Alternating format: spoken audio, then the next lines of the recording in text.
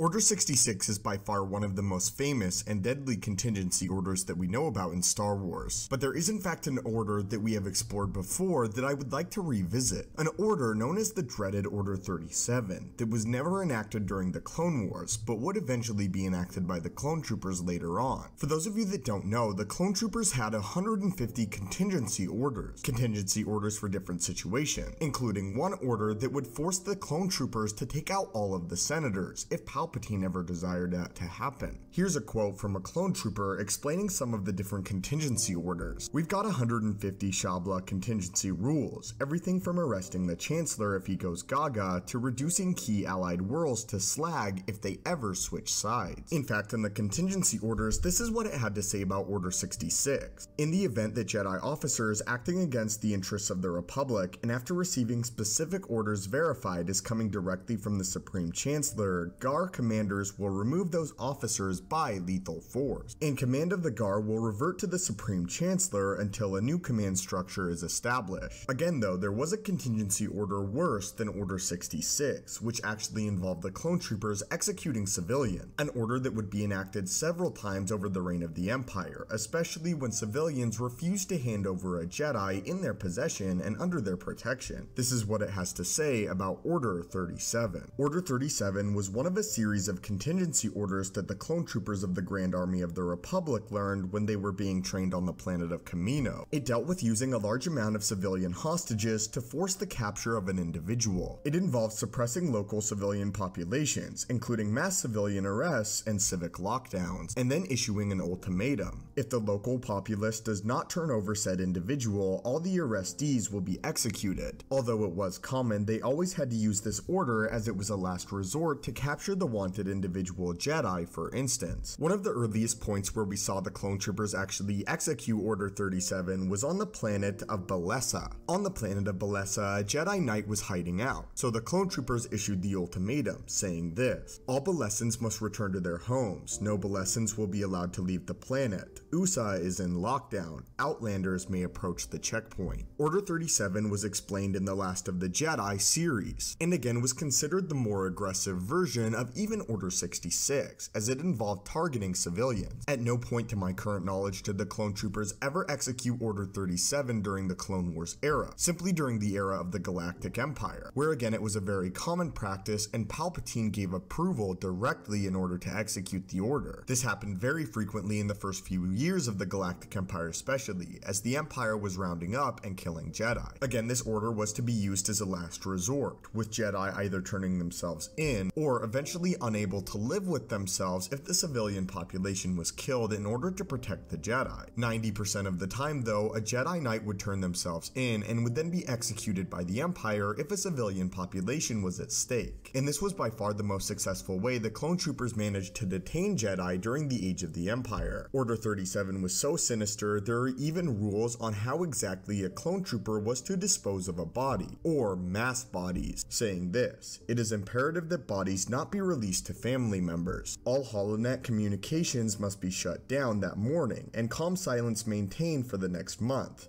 so COMPNOR can control information outflow, no accounts to be disseminated, as they can prove detrimental to Imperial control of surrounding systems. Proof of body disposal documented for Inquisitor Malorum to pass LDV. Essentially what this means is after the events of the Order 37 being executed, the clone troopers had a special method of disposing of bodies, and would even go completely comm silent so that no information on Order 37 being executed would ever leave the location where it was. Because of course if it was ever released to the public that Order 37 was in fact a part of the Galactic Empire's contingency orders, it could cause a revolt among the public. So again, in order to stop this, the Empire controlled all communication on the world, as well as completely destroyed the bodies, leaving no evidence of the attack. But what are your guys' thoughts on the dreaded Order 37? And in your opinion, is this worse than Order 66? If you guys would leave a like on the video, I will also do a series exploring the other contingency orders for the clone troopers. As always, my friends, thank you guys so much for watching. May the force be with you and have a great day.